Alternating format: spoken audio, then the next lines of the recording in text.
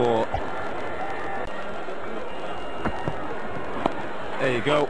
You watch Andrew Symonds and also Brad Haddin looking at the ball, never once looked at each other.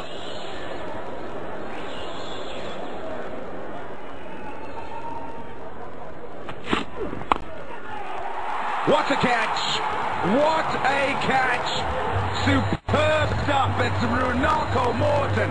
It's pretty close there, and that was hit really hard.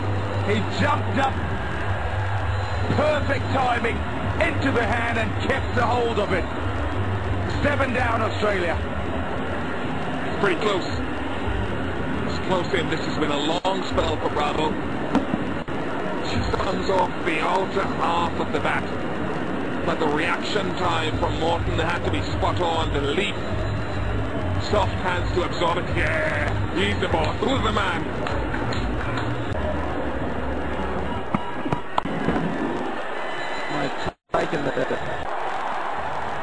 Aleem Dar is just looking across